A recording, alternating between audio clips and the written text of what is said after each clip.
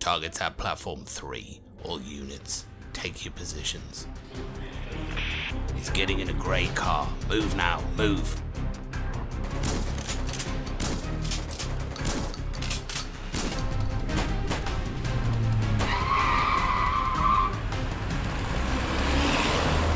He's gonna get away, close the gate.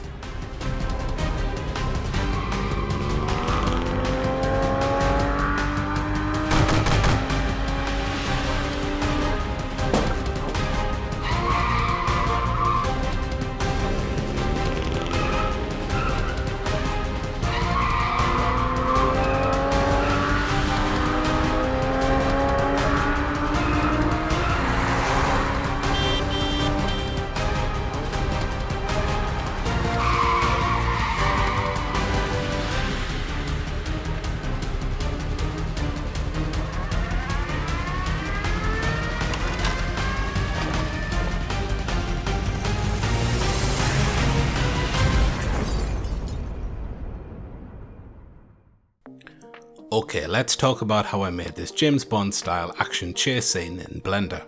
We'll be covering lots of cool stuff in this video like character animation, car animation and environment building. This video has been sponsored by ConceptD, a new brand by Acer. They've sent me this Concept D7 Spatial Labs Edition laptop to make the animation. It's got a really unique glasses free 3D screen and loads of other cool features. We'll talk more about that later in the video but for now let's just get started. Before we cover the actual car chase, let's just quickly cover how I made the opening establishing shots in the train station. All of the main characters for this animation were created using a Blender add-on called Human Generator, which I'll link to in the description. It's got a pretty self-explanatory interface and it makes life a lot easier if you're trying to make fairly realistic characters. Human generated characters come with a pre-made rig which you can use to animate, but I actually got all of the animations from Adobe's Mixamo website. If you've never used Mixamo before, it's a library of mocap data that you can apply to your characters, and it even has this nice auto rigging feature so you can just import your character mesh and you can download it with an animation.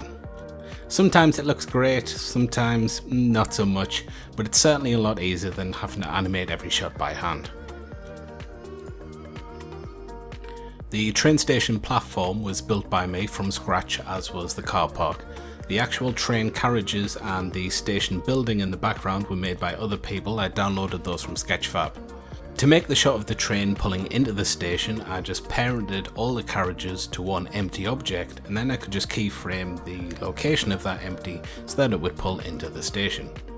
To finish off the shot, I went back to Mixamo and I downloaded a few characters in sitting idle poses keep all the characters sat in their seats on the train. I just had to parent the armature of each one of the characters to that original empty that I made to control the location of the train.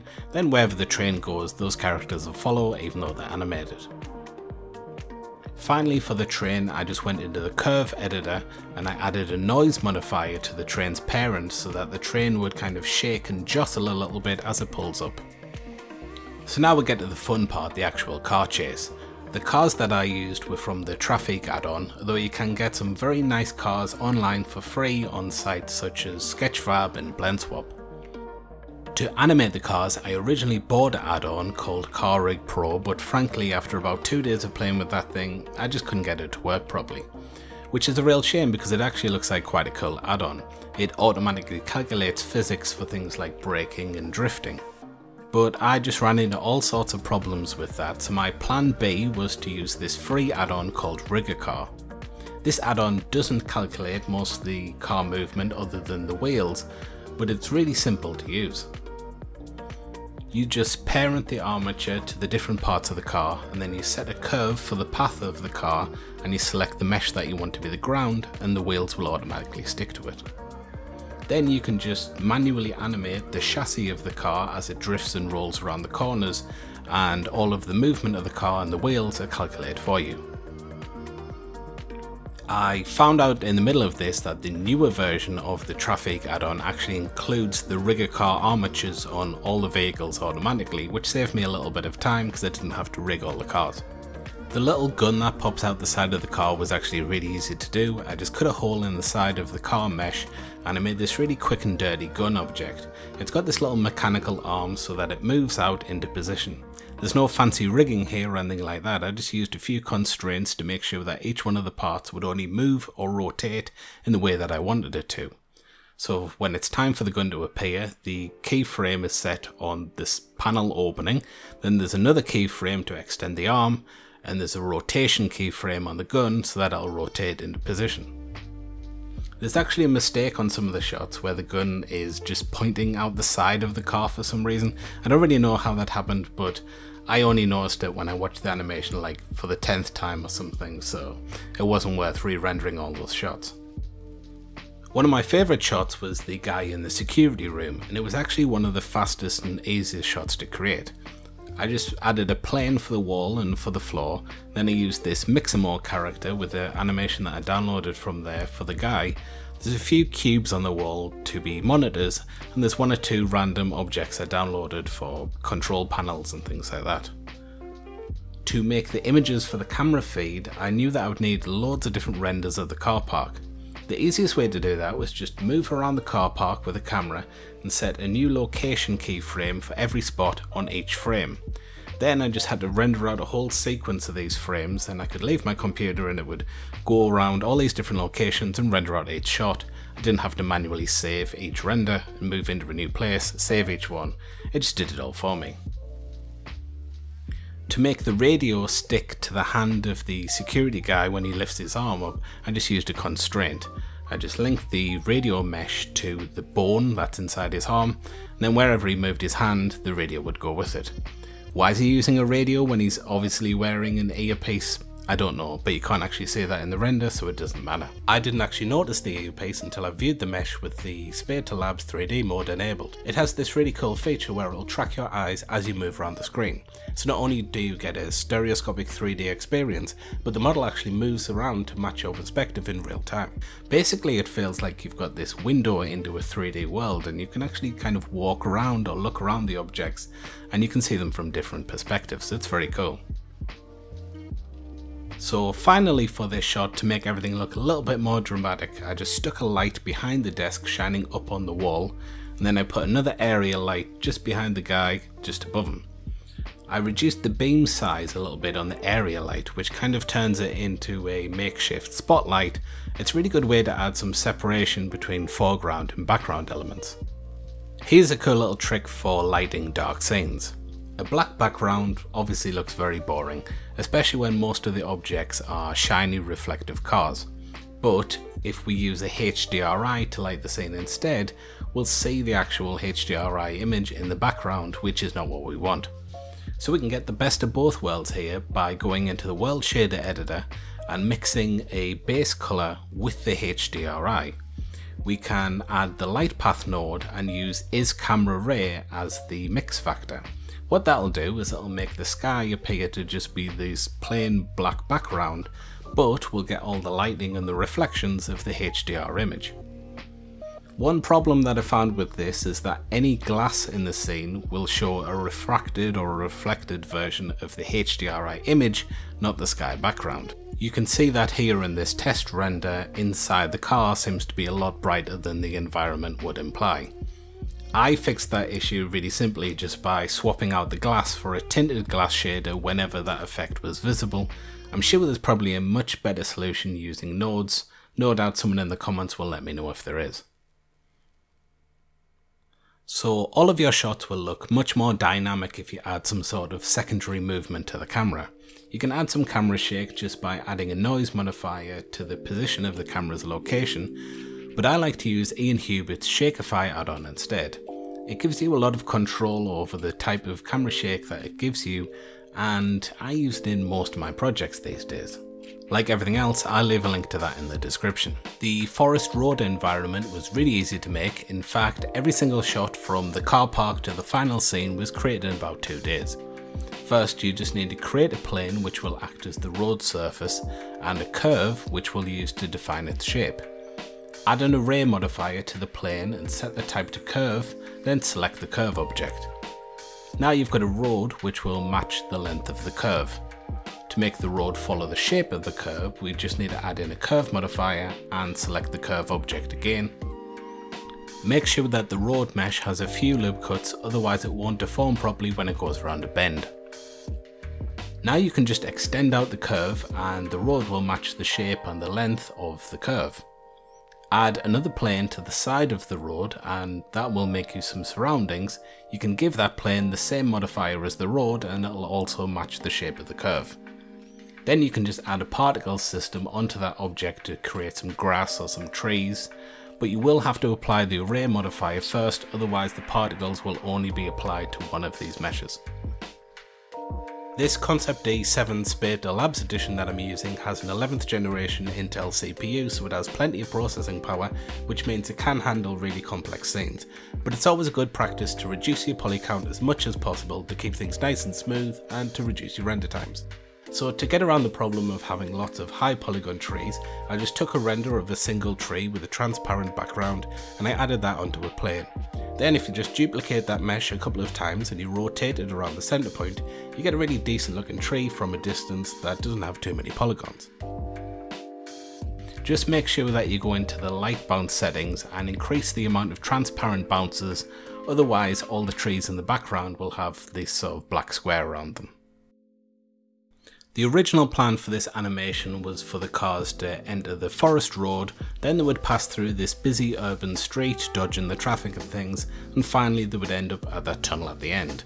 Obviously I scrapped the city sequence because I realised halfway through it was just going to be way too ambitious. I created 22 shots in a week for this project and the city section was probably going to add another 10 to 15 shots. So I just scrapped that part, but I did manage to build the city location before I realised it was just going to be too much work for the time. Building the city section was fairly easy because I used a lot of photo scans and models that I downloaded from the internet. Now unfortunately when you download stuff online the quality can vary massively. Some scans and models look alright when you download them but when you actually open them up in Blender they're really not very good. So normally what I have to do is download every one of them and then I import them all into Blender one by one, wait for all the textures and things to load and I can figure out if they're good or not. Since I've got this Concept D7 Spatial Labs Edition laptop, I decided to use its inbuilt model viewer instead to check the quality of all the models. I really like this tool because it's very stable even with high resolution meshes and it made it really easy for me to sort through all the scans and meshes that I downloaded for this project. So even though that city sequence was cut, there's still one or two useful tips that I found during its creation that I think are worth mentioning. First, I found out about this really cool little add-on called GeoCables that adds geometry node cables to your shots. Hanging cables are a really great way to add a little bit of life and visual interest into a scene, and this add-on makes it really easy to do. You just click on points where you want the cables to join up, and then you get a bunch of parameters that you can alter how they look, like how many cables there are and how much they sag. Secondly, the other thing I found is that when you're making racing shots, it's really the best idea to stick to a low focal length. This animated camera is travelling at a constant speed, but you can see that it appears to be travelling much faster when the camera focal length is small, and when you put it up high, the camera looks like it's going slow as hell. Now, some of the shots in this forest sequence especially looked either way too slow or way too fast. It would have been a real pain to change the speed of all the keyframes since all the car physics and everything was already baked into the animation. Luckily, Blender has a feature that you can use to remap time. If you open up this section called time stretching, you can just alter the new number. It's based on a factor of 100 for the old animation. So for instance, if you put 200 in as the new number, the animation will play at half speed, and if you put 50 in as the new number, it'll play twice as fast.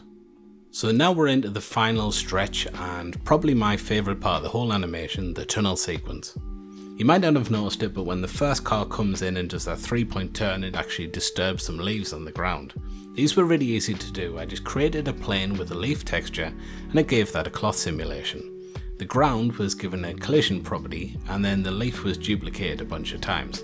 I set the friction and the damping really high on the ground collision mesh so that the leaves would just settle into place as soon as they touched the ground. To make the leaves actually get kicked up by the wind, I just added a turbulence force effect near the leaves and I keyframed the strength so that the turbulence would only activate on the leaves whenever the car was near the leaves. The missile launcher was a lot of fun and it's definitely one of my favourite shots. I just keyframed the location of the missile so it would fly across the screen and I parented a point light to the base of the missile so that it would light up the car as it fired away. To make the smoke, I just added a sphere to the end of the rocket and I parented that to the mesh as well. And then I used the quick smoke preset to simulate some smoke.